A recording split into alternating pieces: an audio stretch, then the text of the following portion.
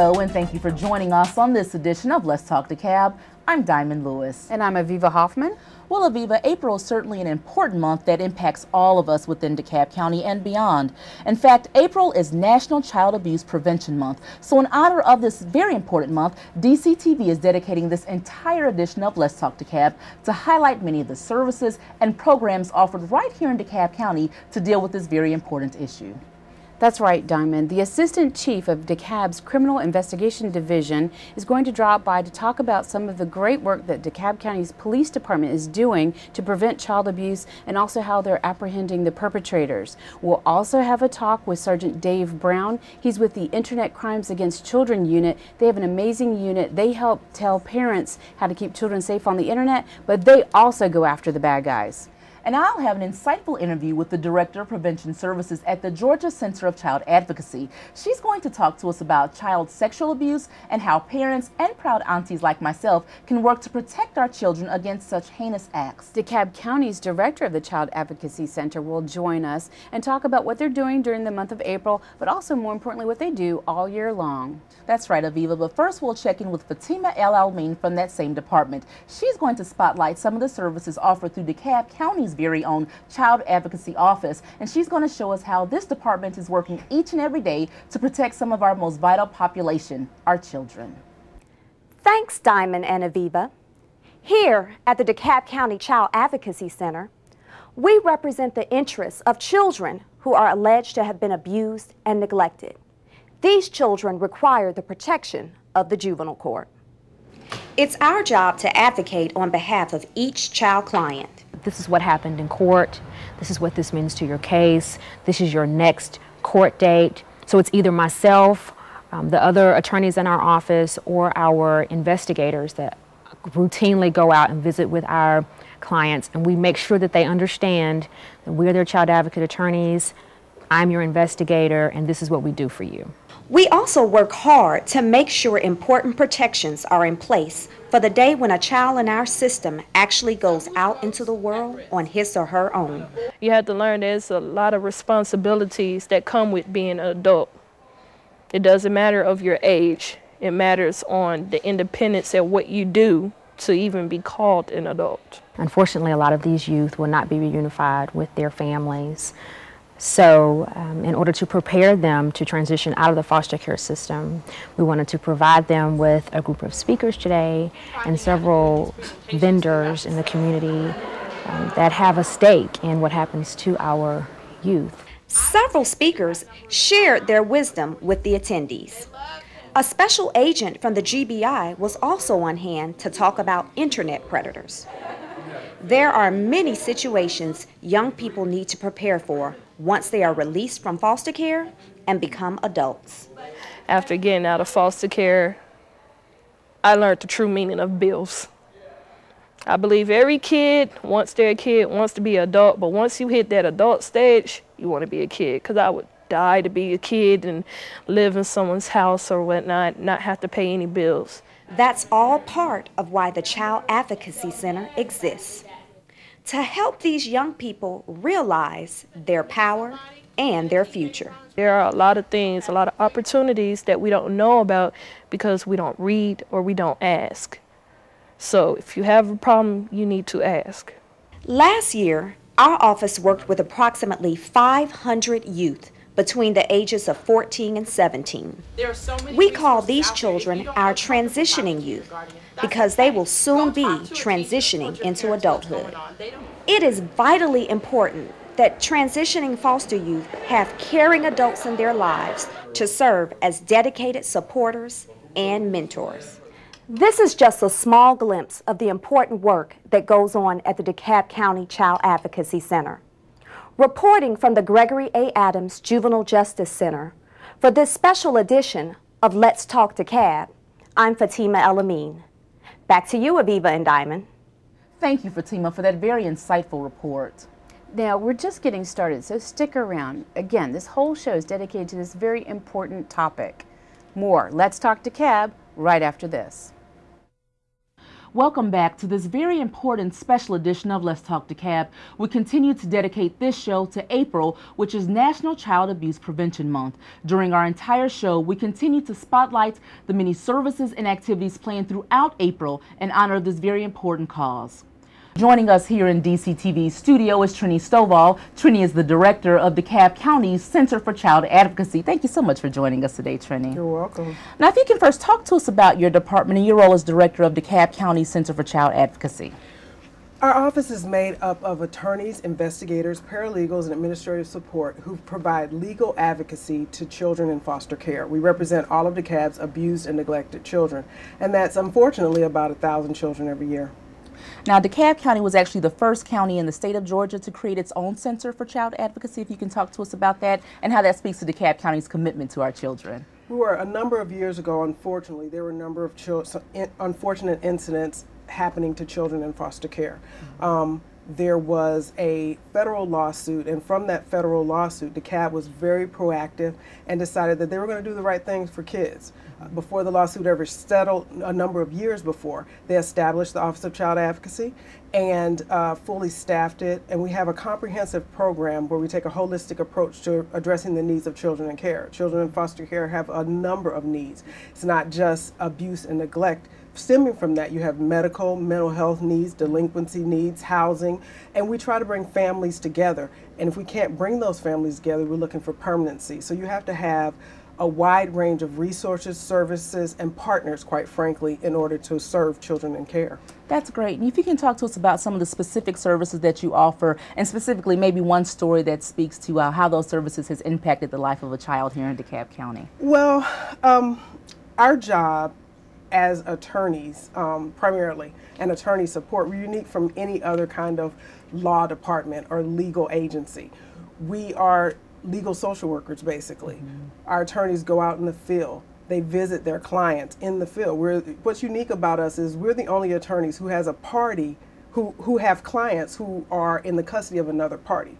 We're not part of DFACS, we work as partners with DFACS. So what we do is um, investigate our own cases and we provide legal support and advocacy in the juvenile court system. So when a child comes into foster care and there's an effort to take that child out of the parent's home, it's our job to make a recommendation to the court and to provide a voice for that child. Legal advocacy fully participating in that process to ensure that that child's voice is heard and that child isn't lost in the system. Mm -hmm. So not only do we provide legal representation for the clients, we go beyond that. As long as a child is in the custody of the department or under the jurisdiction of the juvenile court, which could be a matter of months or a matter of years, unfortunately, our job is to ongoing ensure that that child's needs are met. So not only why, however a child comes into care, our job is to ensure that we make sure that when that child leaves foster care, that they are whole and that they have a permanent home and a permanent connection. That's wonderful. Now, April is National Child Abuse Prevention Month, and your your office every day works, as you said, provide a voice to the children of DeKalb County. But talk to us about the special activities and services that you have to offer for the month of April. Well, we have monthly in services every single month where we bring community partners in to talk with our staff um, and our stakeholder partners, and quite frankly, any community member that wants to come to learn more about the partner systems that work with children in need and families. Um, in April, our our uh, presenter is going to be Men Stopping Violence. Okay. They work to help families come back together after domestic violence or to become whole and uh, provide reparative services. Another one of our efforts during the month of April, we've been working quite some times on providing a holistic approach to supporting children as they leave foster care. This is our transitioning youth uh, population. If you think about it, a child coming into care at 14 to 17 years old, unfortunately, is likely to leave foster care into adulthood. And if when I was 17 and 18, I was in no position to be independent adult. So we send these children out into the world without adequate prepare, preparation. So we started to focus on that population and provide services to really um, address their needs and prepare them to be independent and to thrive as adults. We realized that we could not do that on our own, and in April we'll kick off our first advisory panel um, gathering or convening of all of our partners to really talk about what we need to do as a county and as a community to serve this population of a couple of hundred children who foster, who transition into adulthood every year and can't go back to the families who left them in foster care. So that's probably our biggest kickoff during the month of April. I'm really excited about that and looking for the community support to support this youth. That's wonderful, Trini, but certainly you and your staff can't do it alone. Are there volunteer opportunities that our viewers might be able to offer and help out your department because you have such a noble and such a great cause for the children of DeKalb County? There are volunteer opportunities. Now, first and foremost, there is CASA, the CASA organization, which has been in existence in CAB for DeKalb for many years. They have a very formalized program whereby volunteers can get special training to advocate for one child at a time in court. You're not serving as an attorney, you're serving as a voice for that child to really um, ensure that that child's voice is heard and that their needs are identified throughout their time in care. We have recently started to partner with community volunteers to work with that special transitioning population, that 14 to 17. What we started to find out is there are a lot of resources and opportunities um, from government resources that are geared to them to private funding and tr- private services geared to helping teens to um, have enrichment and support as they as they get training and get prepared to uh, transition into adulthood. Mm-hmm. Our kids weren't getting that support. They couldn't fill out the applications. Mm-hmm. They didn't have anybody to take them to the programs. There were money set aside for programs in the summer that they couldn't access. So what we have started to do is develop a coalition of volunteers who can come and work one-on-one with our kids very short periods of time to help them fill out the application that your mom would have made you sit down and fill right. out and helped you to answer those those general questions about what, how is this going to affect your life. Our kids don't get access to that to help them identify um, the services or the support that gets them uh, transportation sure. to these programs. Mm-hmm. It's very basic things, and our foster youth are losing out because they don't have that basic support. So that's the that is the primary uh, effort that we are focusing on now, really getting the community and volunteers involved mm-hmm. with helping our youth transition because, quite frankly, there are peers in a matter of months. They're adults just like us without any services and support. And we can't expect them to thrive if we don't help them. Right, and then how can our viewers contact your office? Um, you can go to our website or you can reach us at 404 297 3401. Trini, thank you so much to you and your team for all the wonderful work you're doing here in DeKalb County. Thank you. Much more on this edition of Let's Talk DeKalb. Stay with us. Welcome back to Let's Talk DeKalb, and we continue talking about what the county is doing to prevent child abuse. Joining us now is Assistant Chief Annette Williams of the Criminal Investigation Division with the DeKalb County Police Department. Thank you so much for being on our show for this very special month of April. Thank you for having me. You're welcome. Now, why is month of April so important to the DeKalb County Police Department? What is your department doing to promote awareness of this special month? Protecting all our kids and addressing all forms of child abuse is paramount for DeKalb County. And protecting our kids is top priority here in DeKalb County. So we want to use this platform to get out and talk to our community and reach out and make them aware of this being the um, awareness month it might be a double-edged sword that these issues are coming about and it's needed. It's kind of almost sad that this occurs at all. But the good news is that the DeKalb County Police Department is really tackling this problem and working very hard to prevent child abuse. What kind of resources at, are at your disposal for this? What we realized is that we had to come even more specialized and that's when we implemented our ICAC unit. And ICAC is Internet Crime Against Children. Uh, it's something that we've been we've been investigating these types of crime for some time now, but uh, we now have a dedicated unit for that, and that's staffed by one sergeant and three detectives, and they work that unit full time. And recently, we received over five hundred thousand uh, dollars funding from a COPS grant eh, through the U.S. Department U.S. Department of Justice. So that funding will allow us to uh, receive specialized training purchase equipment that we need to investigate these types of crimes. What kinds of penalties or punishment do some of these bad people face? All that just depends on uh, the, the, history, the severity of the crime. You can get anywhere from seven to ten years and sometimes more, just depend on, you know, very serious crime and very yes. serious punishment. That's right. Now we're going to continue looking at what the DeKalb County Police Department is doing to stop and prevent child abuse. This spotlight comes from Mika Parrish. Thanks, Aviva. We wanted to give you an inside look on the steps that ICAC detectives take to get suspected predators off the street. Today, we rode along as they executed a search warrant at this Tucker home. The man inside is suspected of having child pornography. Within hours of receiving tips, detectives walked into the home armed with a search warrant. Inside, the person they were looking for. And it did not take long before they walked out with a 28 year old in handcuffs. The evidence found by detectives pornographic images on electronics. Uh, right now, we're still going through it. Um, obviously, we've got phones and uh, data cards uh, that are used inside phones and cameras and things of that nature.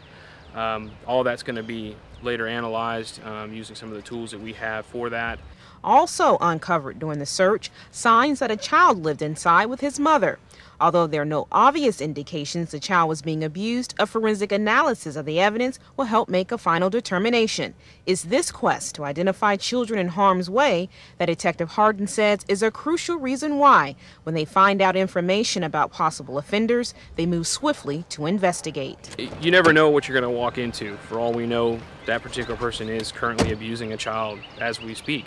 So we want to get those tips, get the information, and move as quickly as we possibly can in the event that there is a current child continually being uh, abused.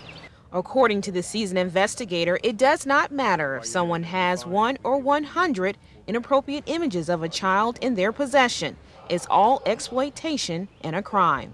Well, in our opinion, I mean, any amount of significant child pornography is is is the extreme, in my opinion, of of a, of a, way to abuse a child. It will be continually abused over and over for the rest of their lives because a picture lasts forever. Detective Harden has one lasting image he wants to convey to the community about the devastating and lasting impact pornography has on children. If you were to take one picture, put it on the internet, within 20 minutes, a million people could have seen it.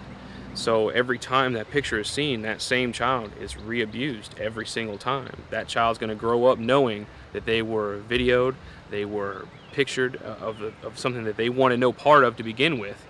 And every time that comes up, they're gonna they're gonna remember that. So they're victimized every single time it happens. Today's arrest is another notch in the belt of the ICAC unit as they work to get child predators off the streets. It's an example of the strides they're making to help keep the children of DeKalb County safe. Mika Parrish, Let's Talk DeKalb.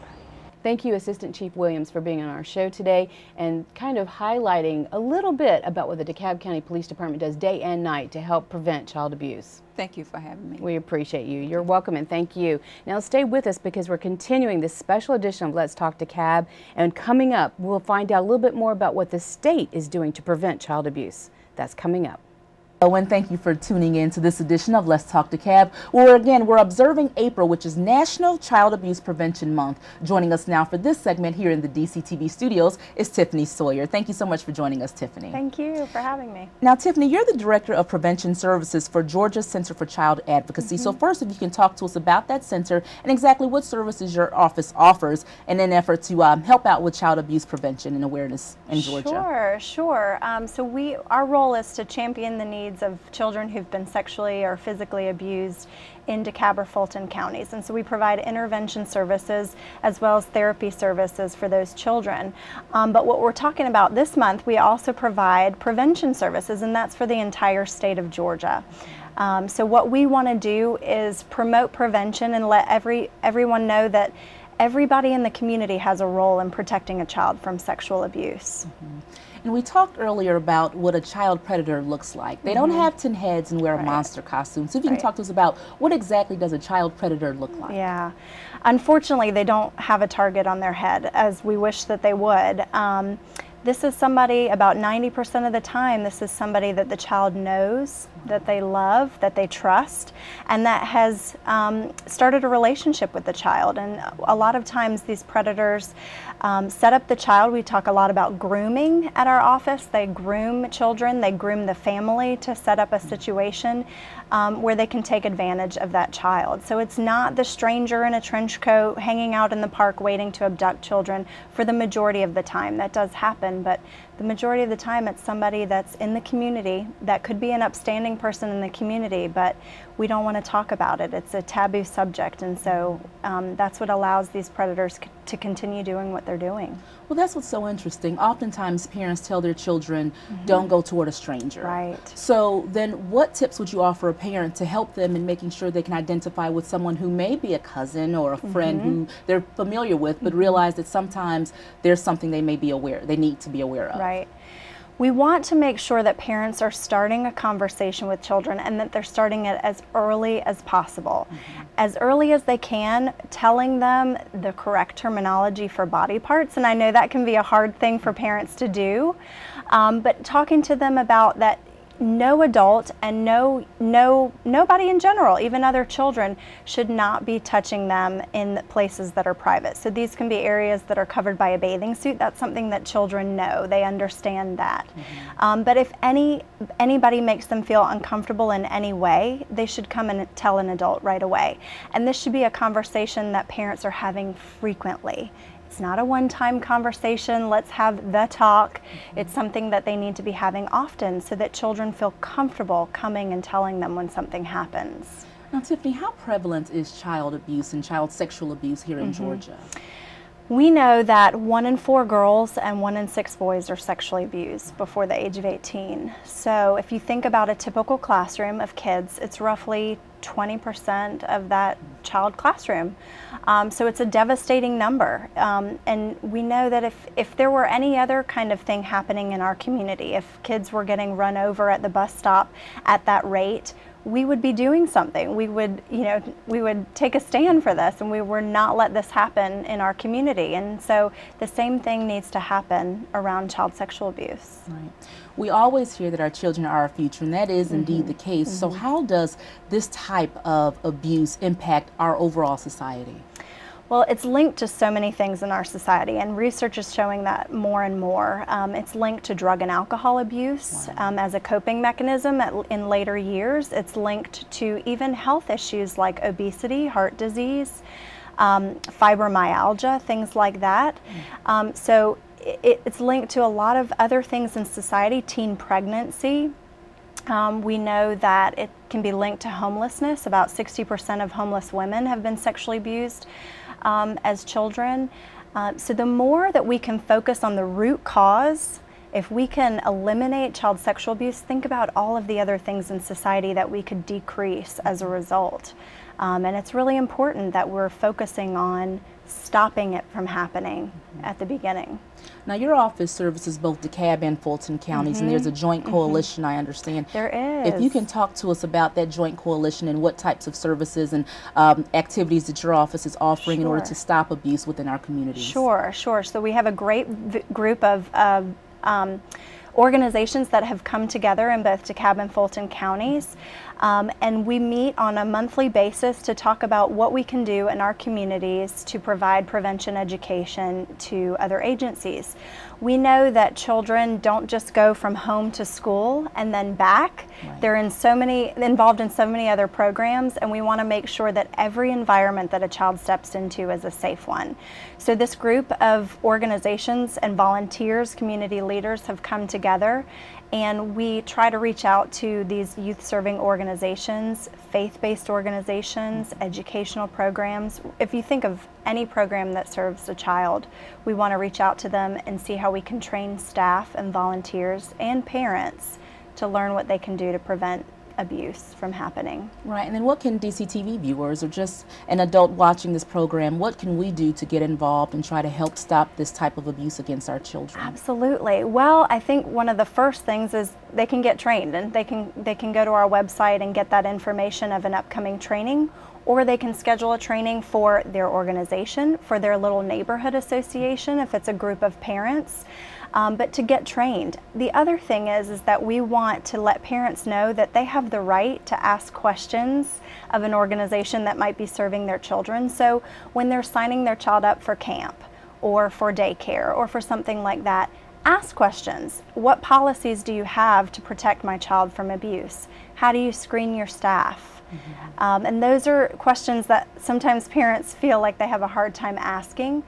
Um, eventually we would love to, for every organization to have training and um, become a partner in prevention. Mm-hmm. If an organization trains 90% of their staff and volunteers, they can apply for a partner in prevention seal. And so hopefully if we have enough of those, parents can start looking for those seals and think, this is a great place for my child to be. And we want every place in DeKalb County to be one of those. That's wonderful. And of course, again, April is uh, the observation of prevention mm-hmm. against sexual abuse mm-hmm. of our children. Mm-hmm. But if mm-hmm. you can talk to us about some of the ongoing services your office offers. Sure. You talked to me a little bit earlier about forensic um, yeah. investigations with our children. So if you can talk to us about what happens when unfortunately the prevention doesn't work and a mm-hmm. child has been sexually abused. Yeah.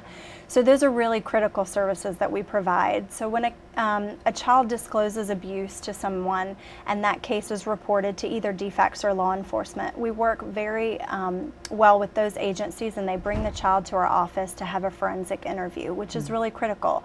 We want to minimize the number of times that a child has to tell that unfortunate story. Um, we want to minimize the trauma that they experience from having to tell that story. So if they can tell that story one time to a trained forensic interviewer, and that's video recorded, and then that can be used in the investigation and in prosecution if it does go, then that's the best scenario for the child.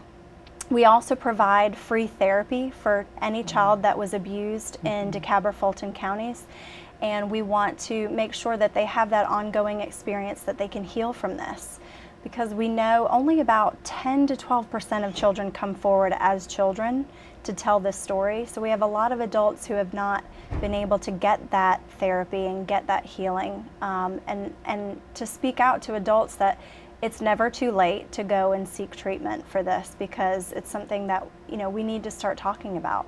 Right. Tiffany, thank you so much for joining us. And for any of our viewers who may want to contact you directly sure. or your office, can you provide us with your contact information? Sure, sure. Um, we, we, can be reached on the web at www.georgia, all spelled out, Center for Child Advocacy.org, or they can call 678 904 2880, and we can be reached there. Um, we do have an upcoming event that I would love Wonderful. to talk about. Um, Marilyn Van Derbur is um, a former Miss America many years ago, back in the 1950s, I believe. Okay. And um, she is a survivor of child sexual abuse, actually incest by her father. Mm-hmm. She is coming here and speaking on April 26th at a luncheon that we are hosting, and we, it's open to the entire community. We're selling tickets for it, and we would love to have many people there because she's a phenomenal speaker, and she's the type of person that can um, really help somebody that might be struggling with abuse and not able to talk about it. So we would love to have a lot of people from the community come. That's wonderful. Thank you so much for Thank all you. the good work that you're doing, Tiffany Thank Sawyer. You. We certainly appreciate that. And please stick around right here on Channel 23 for more information on Let's Talk DeKalb. Coming up after the break, we'll find out how your children can surf the World Wide Web and be safe while doing so. Stick around. Welcome back to Let's Talk DeKalb. And we just talked about what the state is doing to prevent child abuse.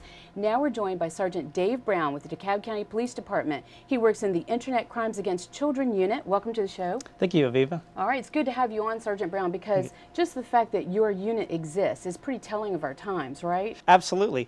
We've only been operating for a short while. Uh, we've been operating for five months, and in those five months, we've made leaps and bounds. There's four detectives in the unit, myself and three other detectives. And each of us are specifically trained to conduct cybercrime investigations. What kind of investigations? What are you, who are the people you're going after? We focus on online child exploitation. I think the more common way to put it is we're out there looking for child predators who operate online. In, in today's times with technology, uh, predators don't necessarily have to go um, lurking through the bushes anymore. They can meet children and teens online. You're not just sitting in front of a computer catching the bad guys, so to speak. You do a lot of educational outreach and you have um, information about maybe what parents should be thinking about. Yes, we do um, numerous educational uh, presentations uh, to community groups, churches, and um, we're always happy to answer any questions and just help anybody we can. Um, oftentimes we get questions from parents uh, on a one-to-one basis. They'll call up to us or approach us, and uh, you know we, we appreciate those questions because we want to get that out there. um, that one tip may be the difference in Okay. stopping one more child from being exploited. And what is perhaps the one most important thing that parents can be doing to protect their children? There are tips that we want to provide to parents. For example, keep your computer in a common room.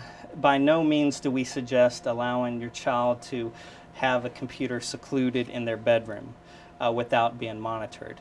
another tip is to know who your children are friends with on social networking sites. Social networking sites are sites like Facebook and MySpace. Now, studies have showed the vast majority of children use this, oftentimes, even when the parents don't even know it. And sometimes, even when there's not a computer at home. How is that possible? Well, they'll get on at school, or they'll Mhm. use their friend's uh, computer, or even their friend's cell phones. They can get on these sites That's right. I didn't think about that. Yeah. I've heard of some parents that kind of take on a different persona and then friend their kids. Absolutely. What do you think about that? There's also a dilemma that's a little bit um, not so forthcoming, but what do you think about that? It would be on a uh, individual basis, and only the parent truly knows if it is the appropriate action to do. There are times when that is, in fact, appropriate, and we would suggest that. At a bare minimum, we suggest that at least have your own social networking uh, profile, such as Facebook and MySpace, and be friends with your child so you can see their wall postings, see who they're interacting with. Um, have that communication with your child that is key. And when you're communicating with your child, make sure to advise them that their profiles set to private. They only need to be friends of friends. They don't need it public and open.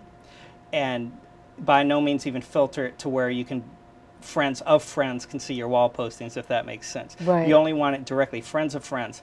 We suggest that the parent know each of those friends and not that they just be random strangers. Mm-hmm. Um, no, we also suggest that you know your child's username and password. So if at times you need to read their private messages, you can do that, which of course parents have the right to. You know, we may have some parents at, at home that say, oh, well, that, that's not a problem. I don't see it. It's not my kids and it's no one I know.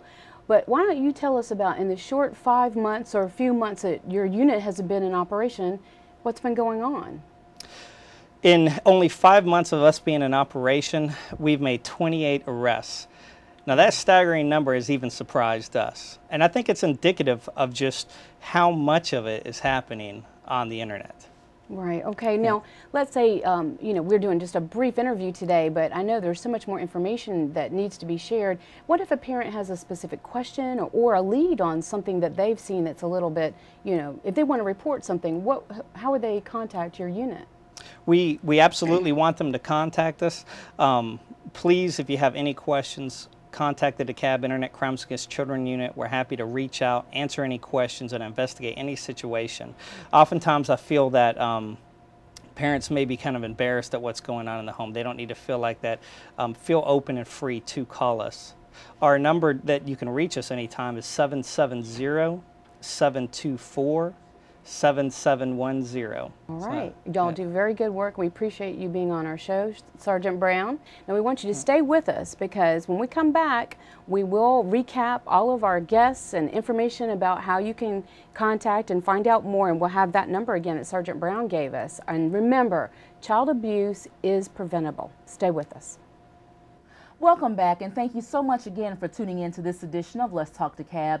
We hope you've learned a lot of information about how you can not only help to observe April, which again is National Child Abuse Prevention Month, but also how you can help to protect our children all year round. Now, if you'd like more information on any of the services or departments featured on this special edition of Let's Talk DeKalb, here's all the information you'll need to do just that. If you want to find out more about some of the things we've talked about, be sure to check out these websites and contact information. You can reach the DeKalb County Child Advocacy Center by phone at the main number 404 294 2646 or visit the center. It's located on the third floor of the Gregory A. Adams Juvenile Justice Center. That's at 4309 Memorial Drive in Decatur. And of course, the emergency police number is 911. But if you need to reach the DeKalb County Police Department for a non emergency matter, you can call them at 678 406 7929 or 678 406 7930. And you can reach the DeKalb County Police Department's website from the county's homepage at dekalbcountyga.gov.